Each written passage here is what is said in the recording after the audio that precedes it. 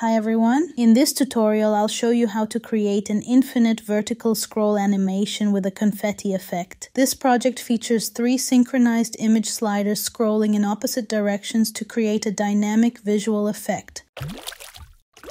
We will also add a confetti animation to enhance the design. Let's get started.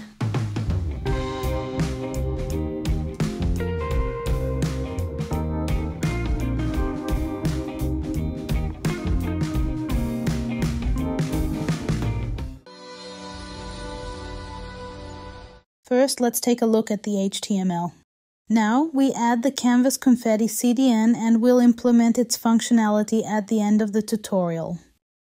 We have a section containing two main parts, content and sliders. The content includes a title, a description, and a button. There are three vertical sliders, and each one has a slider container. Inside it, there's a slider track that holds the images.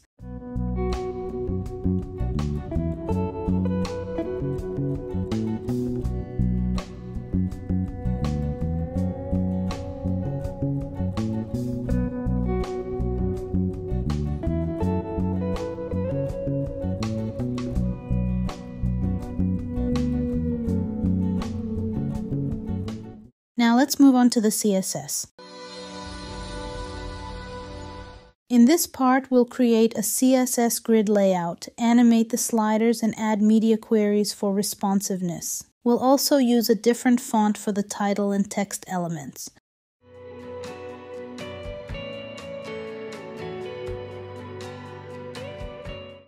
Each slider contains four images.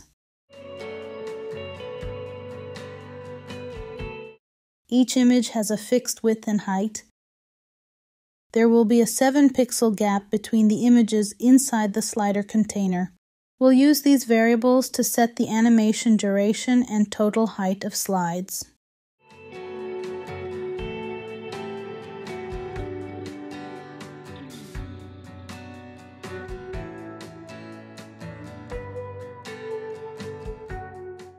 We'll create a full height section with a two column grid layout and hide the overflow.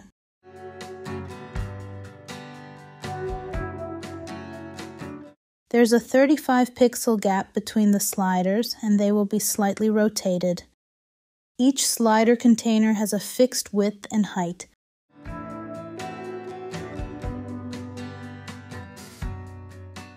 The slider track moves upward or downward using CSS animations, creating an infinite scrolling effect. The first and third sliders move up while the second slider moves down, creating a smooth alternating motion. Each slide has rounded corners and a semi-transparent border,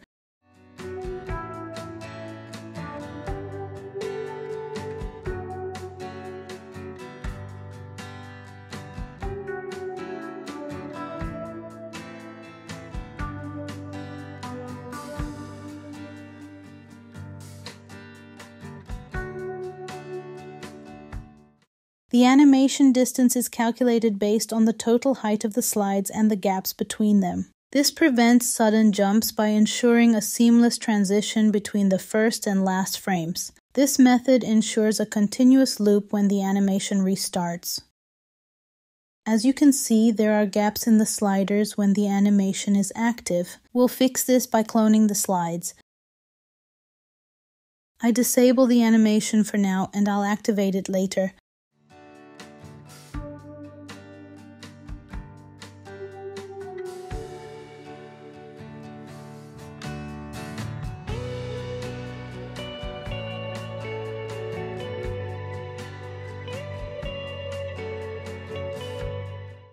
The title uses a gradient text effect to make it more visually appealing.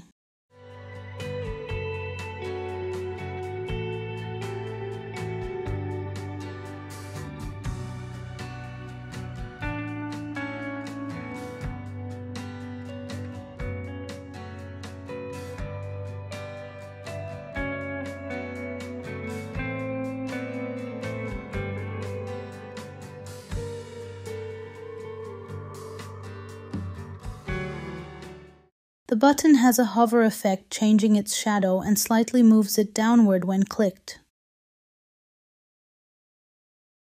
Now we add media queries to make the slider responsive.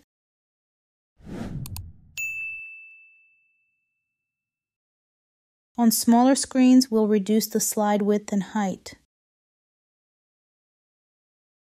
We'll also adjust the gap between the sliders to maintain a balanced layout across all devices.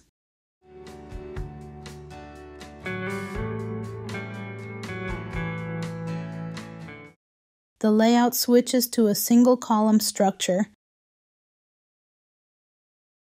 The content moves to the top using z-index while the sliders remain in the background. We'll center the content with a semi-transparent background to improve readability. We also decrease slide sizes, reduce slider gaps, and scale down button padding. Finally, we'll reduce the padding inside the content box to fit smaller screens. Now let's add functionality using JavaScript. To make the sliders scroll infinitely, we need to duplicate the slides. First, we'll select the slider track inside each slider. Then we'll loop through the existing slides and clone them. The clone slides will be added back into the slider track. This provides a smooth, continuous scrolling effect without gaps when the animation resets. We're calling the duplicate slides function for each slider to make them scroll infinitely.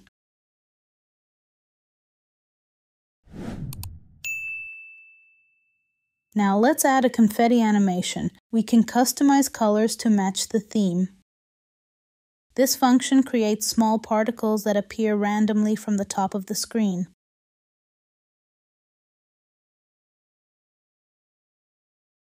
The particle count sets the number of confetti particles created at once. The confetti particles fall straight down at 90 degrees. The spread controls how narrow or wide the confetti effect appears. The start velocity determines the initial speed of the particles. This controls how long the confetti stays visible before disappearing. The gravity affects how quickly the particles fall. The random horizontal positions ensure natural distribution.